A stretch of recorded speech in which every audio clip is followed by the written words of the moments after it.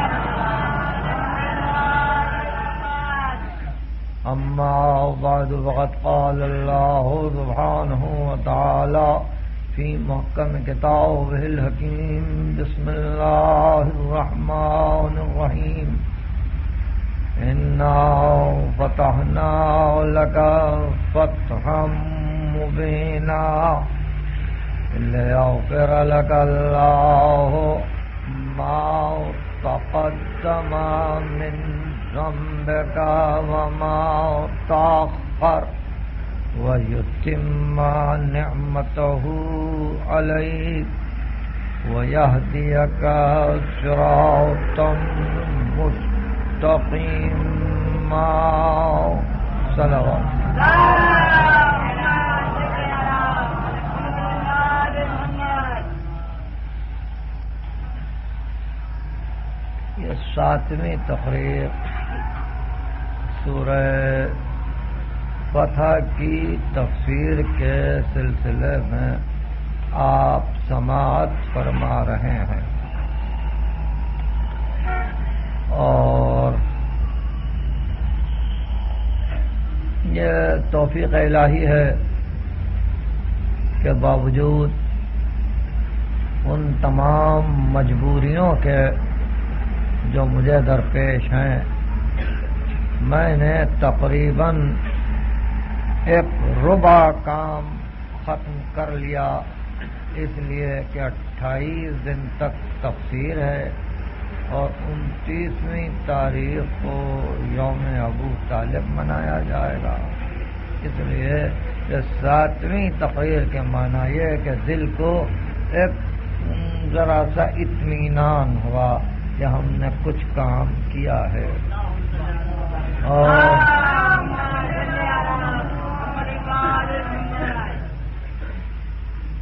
ज़ाहिर है कि अज़ीज़ और करीब दोस्तों की इनायतों ने मुझे पहले ही से मुतनबह कर रखा था कि तकरीर के दौरान में अगर आवाज़ बुलंद होती रहे तो उसका अंजाम मुनासिब नहीं होगा। वही हुआ। और हुआ ये कि खून का दबाव इतना ज़्यादा हो चुका है कि मेरे मुआलजों ने आज फिर यह हिदायत की कि मैं आवाज़ को बुलंद न होने दूँ।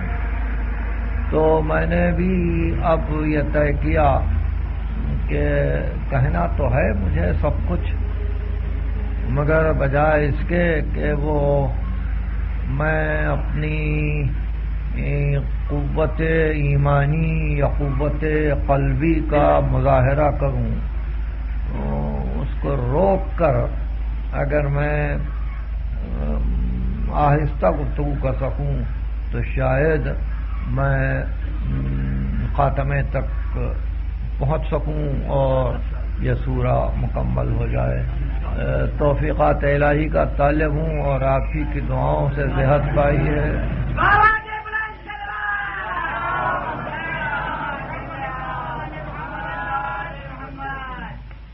ये सूरह फतह की तफसीर हो रही है और कल हमने उसका आगाज़ किया। अब एक बात है, वो ये है कि मुफसरीन ने ये कहा कि फतह से मुराद सुलह उदैबिया है। बाद मुफसरीन ने कहा, फतह से मुराद फतेह खैबर है इसलिए कि ये सूरा सुलह हुदैबिया के दौरान में नाजिल नहीं हुआ, बल्कि जब सुलह हुदैबिया से मदीना वापस आए और कामिल बीस दिन का क्याम किया हुदैबिया के मकाम पर और जब ये हुक्म मिल चुका कि अब खैबर की तरफ़ चलो तो सूरा आया तो मुफसरीन ने कहा कि सूरह फतह फतेह खैबर के लिए।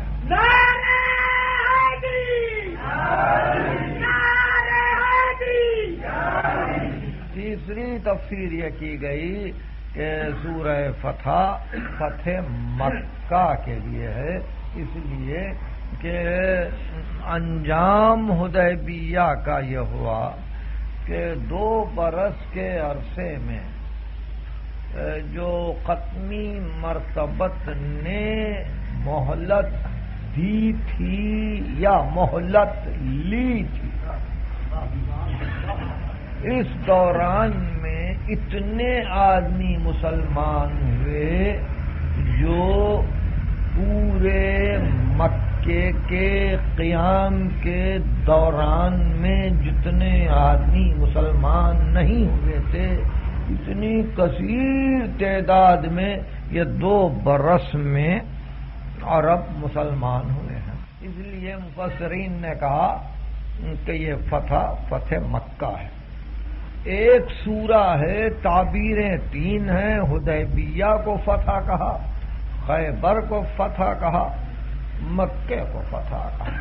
लेकिन कुरान मजीद ने जिन तमाम फराइन को पेश किया है, उसमें एक अजीब करीना ये है, एक अजीब करीना ये है कि जहाँ मुफसरीन की आजमाइश हुई, जहाँ मुफसरीन को इम्तिहान देना पड़ा, जहाँ मुफसरीन के कदम उखड़ गए, जहाँ मुफसरीन ने पहरों, दिनों, महीनों आयत के मफहूम को अदा करने के लिए फ़िक्र की, वो यही आयत है कि हमने हाँ हमने फतह अता की, तुझको फतेह मुबीन, ताके तेरे गुनाहों को जो गुदिश्ता गुजरे और तेरे गुनाहों को, जो आइंदा होने वाले हैं, सबको बख्श दिया जाए।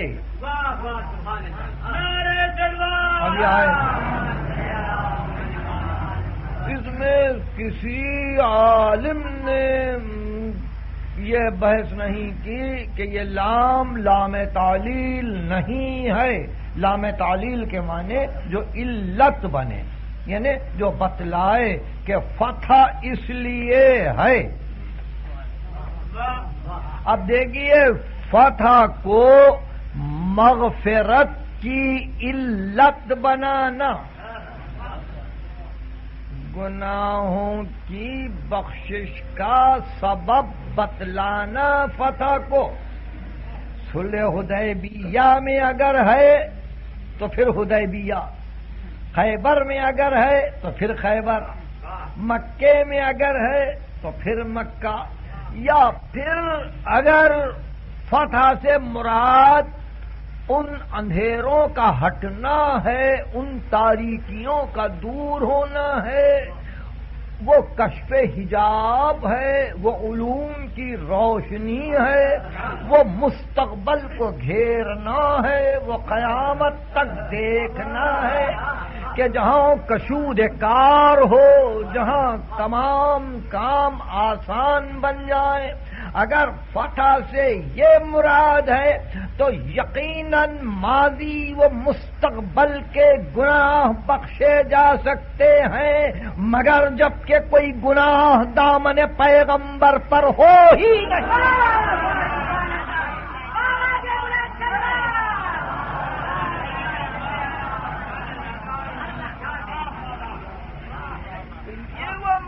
है कि जहाँ हम कयास, राय, इस्तेहसान या अपने फहम और तस्वुर के मुताबिक तफसीर करने के मजाज नहीं है जब तक के मासूम रहबरी न कर। और इसमें मासूम ने रहबरी की और इर्शाद फरमाया सौद कयाल मोहम्मद ने। ऐसे अल्फाज है, वल्लाही मा कान लहू जम्बुन। खुदा की कसम नबी के लिए कोई गुनाह न माजी में साबित है न मुस्तकबल में। मगर कुरान मजीद का रुझान हमेशा यही रहा कि खिताब करे पैगंबर को और मुराद ले उन ईमान वालों से उन ईमान वालों से जो ईमान में रासक होकर दामन पैगंबर को कभी न छोड़े तो कहा कि ये कुशाद कार है, ये फतेह मुबीन है, अपने दोस्तों को बशारत दे कि माजी और मुस्तकबल की अब कोई कोताही बाकी नहीं।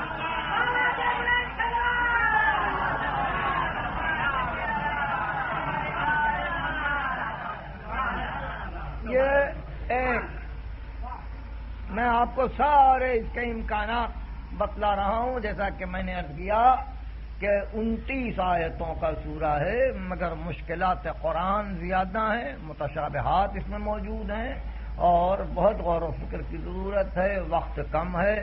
ज़ाहिर है कि जैसा कि अभी मैंने अर्ज़ किया, इक्कीस तकरीरें और बाकी हैं, और हम अभी पहली आयत ही को खत्म नहीं कर सके।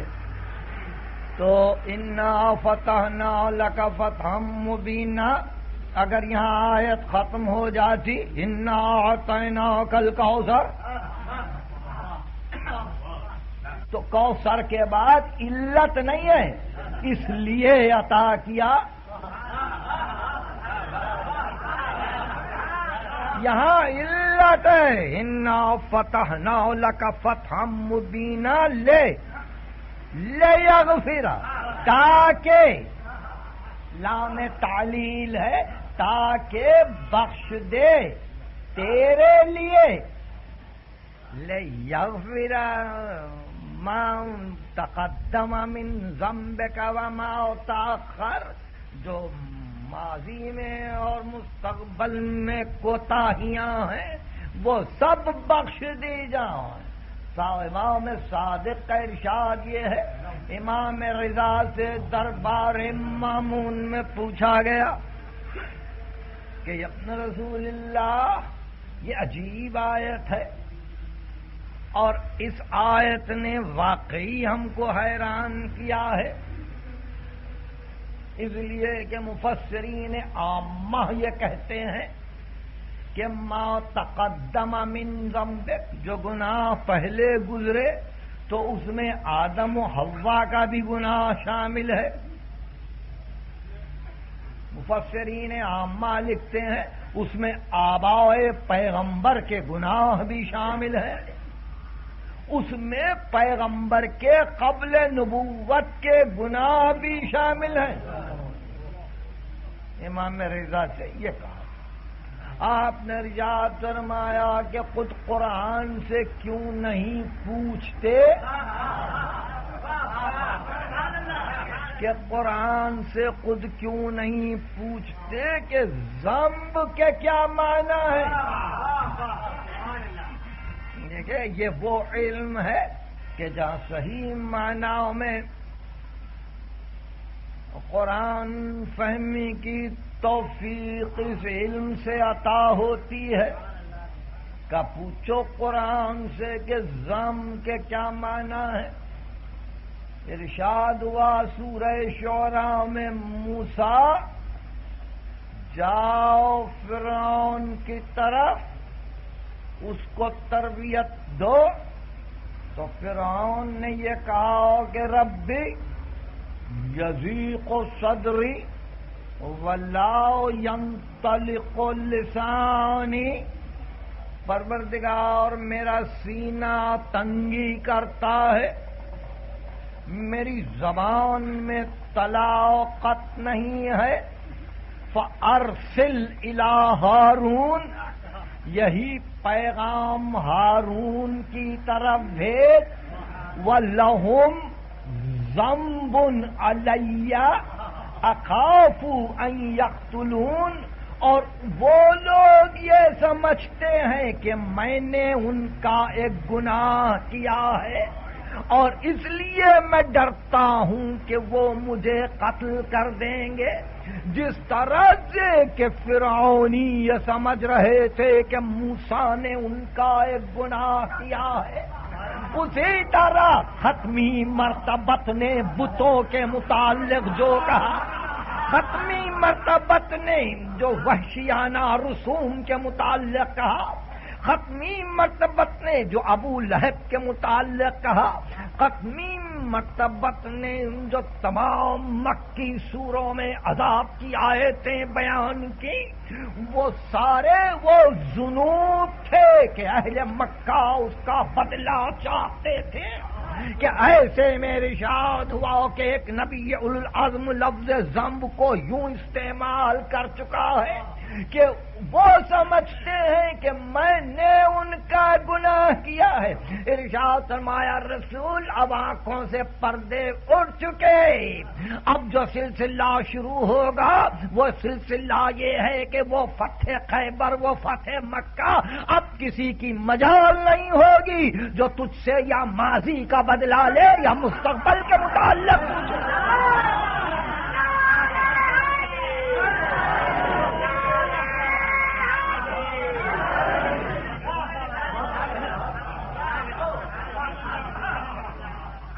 सूरह शुरा की आयत थी, जिससे लफ्ज जम्ब पे इस्तेमाल किया कि लहुम जम्बुन अलैया। वो समझते हैं कि मैंने गुनाह किया है। ले यगफिर अल्लाह माओ तकदम मिन जम्बिक व माओ ये मक्के वाले अब खैबर के बाद और फतेह मक्का के बाद अब इनकी मजाल नहीं होगी कि जब इनकी आँखों से पर्दे हट जाएँगे कि तूने इनके आभा को बुरा क्यों कहा तूने इनके बुतों को बुरा क्यों कहा? तूने इनकी रस्मों को फाहिश क्यों करार दिया? तूने अलल ऐलान इनके नसब को क्यों बुरा करार दिया? तूने इनकी बुरी आदतों का क्यों तस्करा किया? और जितने आदमियों को तूने कत्ल किया है, इनमें से वो सब के सब ये कह रहे थे कि ये गुनाह पर गुनाह है, हम बदला लेंगे। मगर जब आँखें खुल जाएँगी, सुलह उदयबिया के बाद, एक तरफ़ फतेह खैबर से, दूसरी तरफ़ फतेह मक्का से तो फिर किसी की मजाल ये नहीं होगी जो ये कहे कि आपने लातो मनात को ये क्यों कहा? आपने हुबल को क्यों कहा? आपने हमारे बुतों को क्यों कहा? आपने खुदाओं को हमारे क्यों कहा? न माजी के मुताल कोई गिरफ्त कर सकता है, न मुस्तबल के मुताल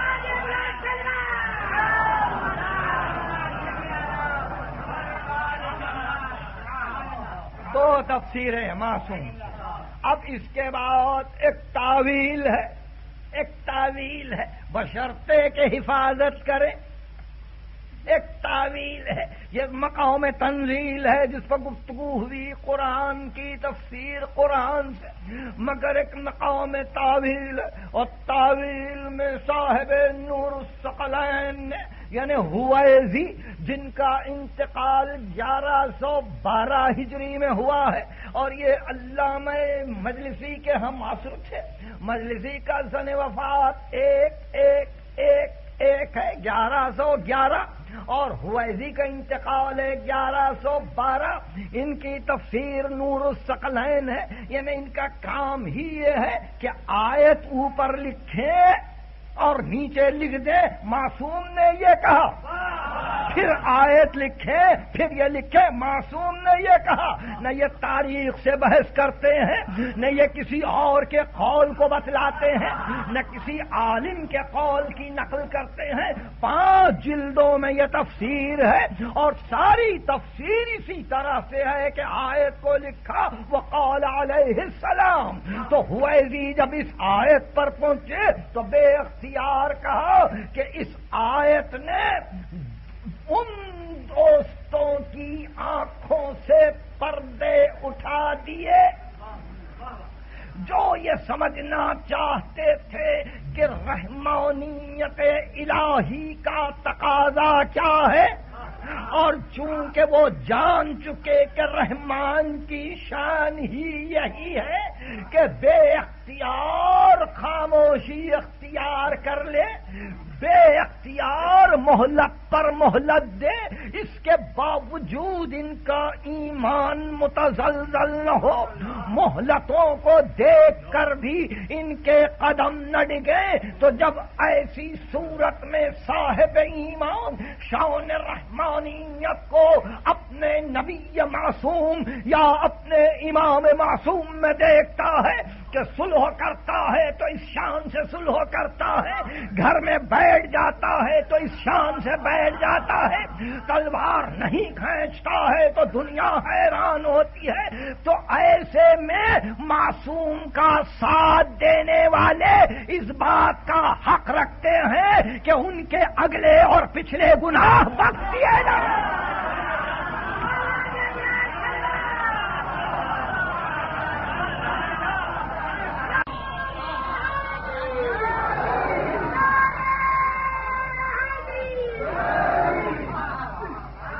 गुफ्तगु को थोड़ी सी अहमियत दे दी है और बड़ा ही एहतियात मैंने की है। ज़ाहिर है कि सब सुन रहे हैं। मैंने एक लफ्ज को यहाँ जेर लब छोड़ दिया है। जेर लब एक लफ्ज को छोड़ दिया है। और मैंने लफ्ज दोस्त इस्तेमाल किया है। तफसीर में लफ्ज दोस्त नहीं है। आपका नाम है।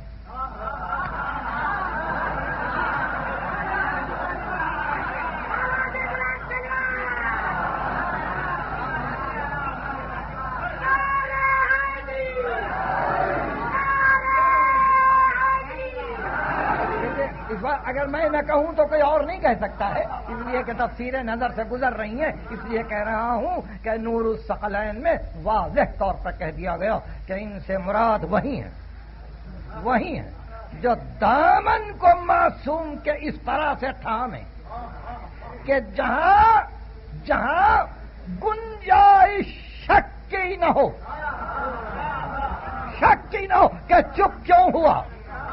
बद दुआ क्यों नहीं की? तलवार क्यों नहीं खींची? तो जाओ इस यकीन पहुँच जाए। इरशाद फरमाया अब उससे ये न पूछा जाएगा कि माजी में क्या किया। उससे ये नहीं पूछा जाएगा कि मुस्तकबल में क्या होगा। इसलिए कि ये ऐसा ही शख्स होगा। ये ऐसा ही शख्स होगा जिससे न माजी में कुछ हो सकता है, न मुस्तकबल में कुछ हो सकता है।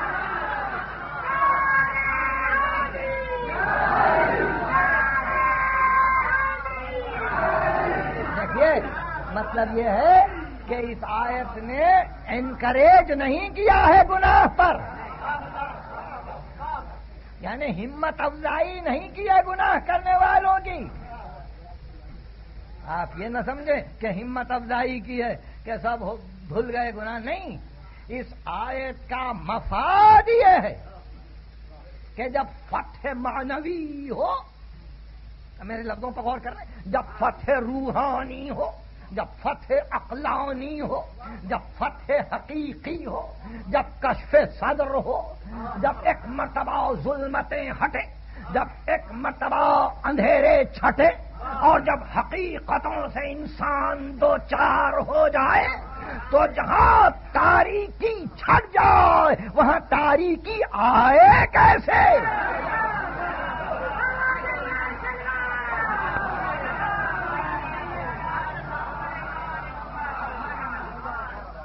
किन मनाजिल बगुबगु हो रही है? जहाँ तारीकी छट जाए, वहाँ तारीकी आए कैसे? और ऐसी मंजिल पर ये कहो कि नाव फतह नाव लगा फतह मुबीना। अब फिर गौर कीजिए वापस आके कि नजूल कहाँ है? अगर नजूल होता बीस दिन पहले बीस दिन पहले आयत आती तो सुलह हुदैबिया में जितने शरीक थे।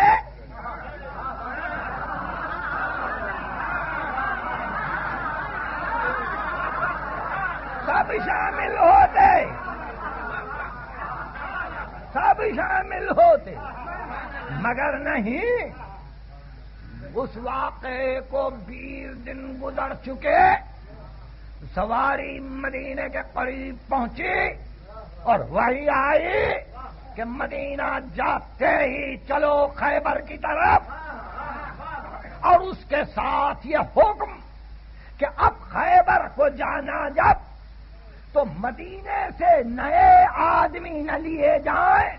उन्हीं पंद्रह सौ को साथ लो जिनका की अखलाकी हालत गिर गई है, ताकि वो जान ले कि हम कहाँ फटा देते हैं।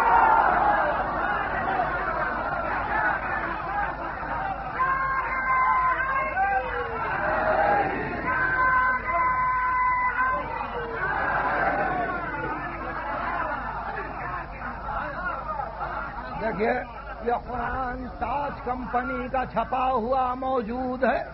आपके हाथों में है। शाह अब्दुल कादिर दहलवी का तर्जमा देखिए। हाशिए पे लिखते हैं कि खैबर को जाते हुए मखसूस वही ये थी कि अगर मदीने से कोई और चलना चाहे तो आप साथ न लें। वही जाएँगे जो सुलह हुदैबिया में थे। आप देखिए कि वही जाएँगे जो सुलह हुदैबिया में थे। सुलह हुदैबिया की हालत तो आप जान चुके हैं। जान चुके हैं कि तारीख ने लिखा कि अजल आला हस्तियों के दिलो दिमाग में ये बात थी और जबानी गुफ्तगु ये हो रही थी। अल्लाह बे रसूल ही। क्या तू अल्लाह का रसूल नहीं है? यानी गुफ्तगु, अब आपसे तुम और तुमसे तू तक आ चुकी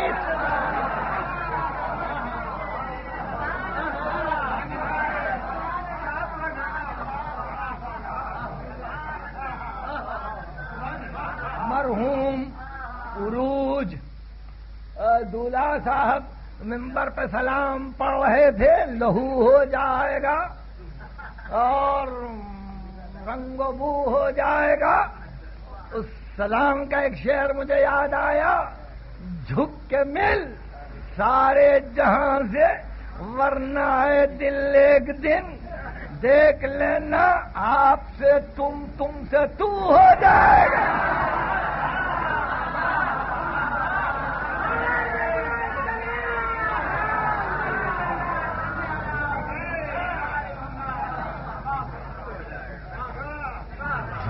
मिल सारे जहाँ से, वरना दिल एक दिन देख लेना।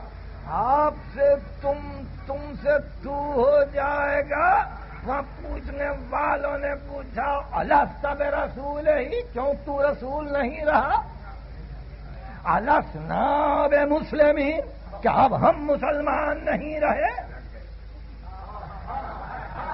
तो उस मताओ नत रिसालत को देखिए। उस तमानियत नबूवत को देखिए। उस साहिब विकार सकीना को देखिए।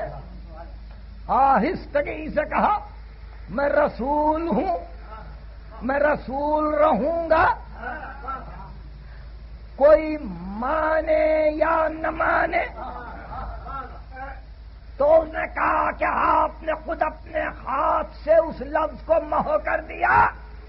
कब मेरी मसलहत नहीं? मर्रिय मौला है?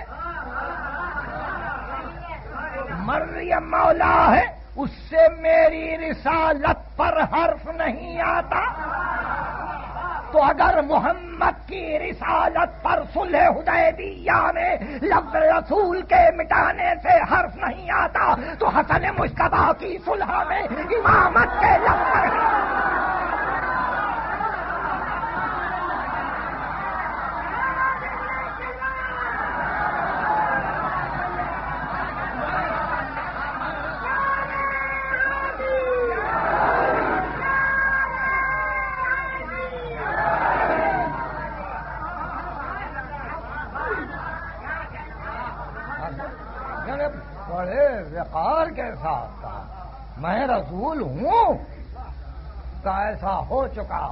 कि ये लफ्ज मिटाया गया, कहा हाँ मरियम मौला है, मगर मैं रसूल हूँ। ये कहना कि मैं रसूल हूँ, ये भी तो मर्ज़ी मौला है ना? ये भी तो मर्ज़ी मौला है ना कि मैं रसूल हूँ, कोई माने या न माने? ये लिखा हुआ पाया जाए कि नहीं? मैं रसूल हूँ। और उसके बाद को, दूसरे ने, तीसरे को, सबों ने, आपस में, भाई ने, भाई को समझाने की कोशिश की कि अब रसूल पर एतराज़ न करो। अब जो कुछ हुआ हुआ। जो कुछ हुआ हुआ। तो आपको मालूम है कि मक्के की तरफ़ से एक ऐसा शख्स कि जिसकी कोई तारीख में पहले अहमियत नहीं है, सुहेल इब्ने उम्र उसको भेजा गया का जाओ, सुलोनामे पे दस्तखत लाओ। तो पैगंबर ये भी नहीं पूछते कि आखिर तेरा मकाम कुरैश में क्या है? और भी तो लोग मौजूद हैं। सुहेल आया और उसने कहा, लिखो सुलहनामा सुलहनामे के मुताल गुफ्तगु हो चुकी कि क्या लिखा गया, क्या शराइ थे, बस यही कि दस साल तक जंग नहीं होगी।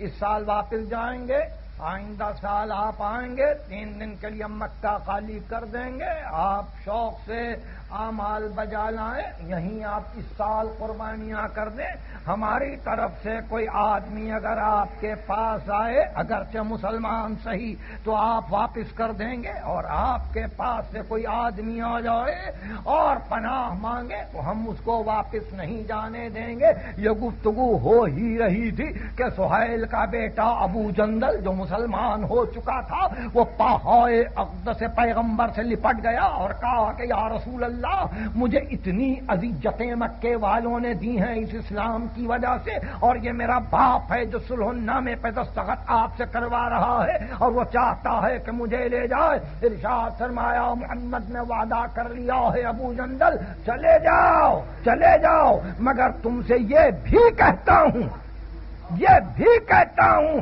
कि मैं मैं इस बात का जामिन हूँ कि अब तुमको कोई सता न सकेगा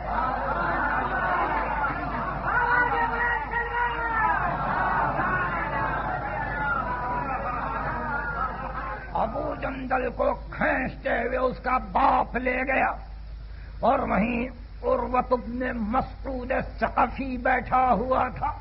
उसने पैगंबर से तेज कलामी की बार बार दस अपने हाथ को वो कतनी मरतबत के दहन तक या ऋषि अकदस तक ले जाता। मुगैरत अपने शोबा ने जो सरहाने रसूल के खड़ा हुआ था, बेअख्तियार कहा के हाथों को अपने रोक वरना हाथ काट दूँगा। मुगैरा की सूरत देखी और रसूल की तरफ़ देख के कहा कि ये फुला कबीले का हलीफ था, मक्के में चोरी करके आया है, मुसलमान हो के पनाह चाहता है और कोई चूँकि पनाह नहीं मिल रही थी, इसलिए आज आपके पास खड़ा हुआ है। दियानत अमानत का दावा लेकर इर्शाद फरमाया जो कुछ भी सही तस्लीम की मंजिल पर आया मैंने अमान दे दी।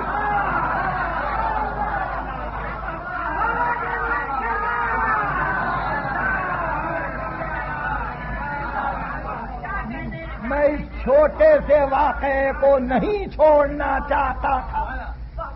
मैं इस मुख्तर से वाक़े को नहीं छोड़ना चाहता था।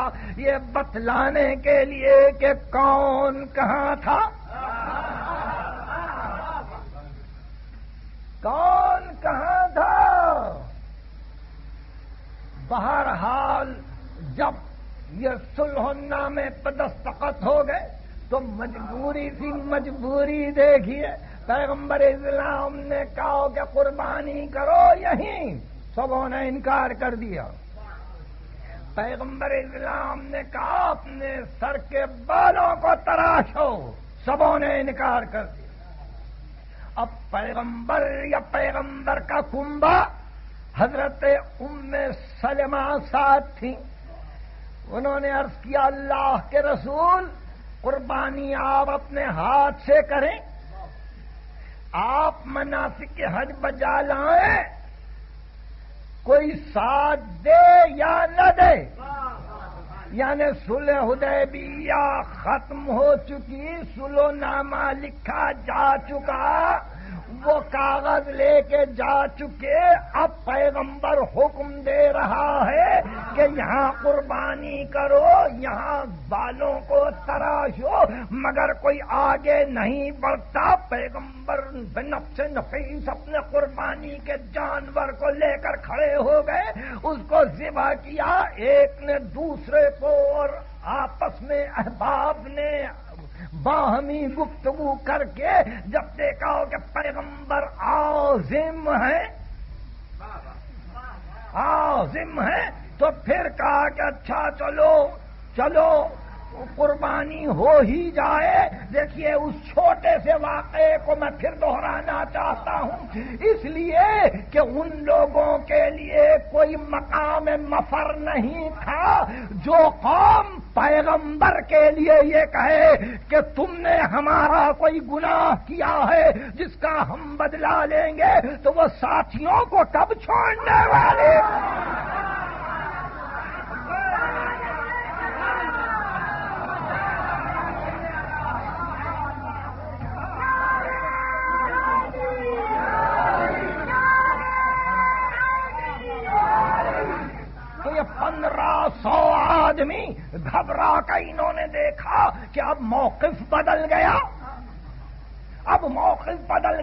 अगर कुर्बानी नहीं करते हैं तो ज़ाहिर है कि मदीने में मुँह न दिखा सकेंगे, मक्के वाले कबूल नहीं करेंगे। न जाए रफ्तन, न पाए मुंदन तो चलो कुर्बानी कर ले, कुर्बानी कर और ऐसे में निढाल, ऐसे में निढाल चेहरे उदास। अफकार के बादल छाए हुए। देखिए, बहुत गौर से सुनिए, किस मंजिल पे मैं आज गुफ्तगु को पहुँचा रहा हूँ, कहाँ से कल शुरू करना है? यानी सुलह या नाम है? खैब खंदक और कैबर के दरमियानी फासले का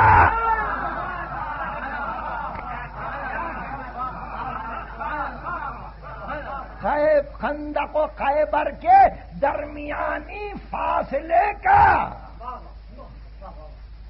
दरमियानी वक्फे का नाम सुलह हुदैबिया है। अब अगर खंदक से किसी हस्ती को हटाया जाए, और खैबर से अगर उसी हस्ती को तारीख निकाल ले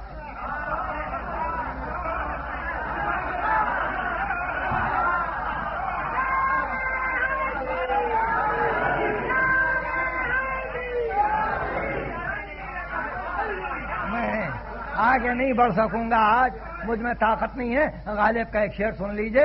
यह उनके कलमी दीवान में जो अभी इशाया हुआ है, ये शेर भी आया है। और याद रखिए, नौजवान बच्चों को याद रखना चाहिए। गालिब है रुतबा। फहमो तस्वुर से कुछ परे। गालिब है रुतबा।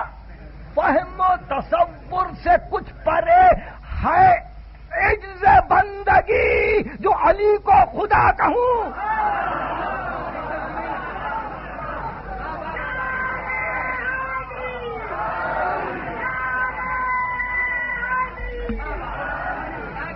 गालिब है रुदबा फहमो तस्वुर से कुछ परे। है इज्ज बंदगी ये मेरी आजिजी है। मैं समझ नहीं सकता, इसलिए ये कह रहा हूँ। है इज़्ज़त बंदगी जो अली को खुदा कहूँ, सलावात।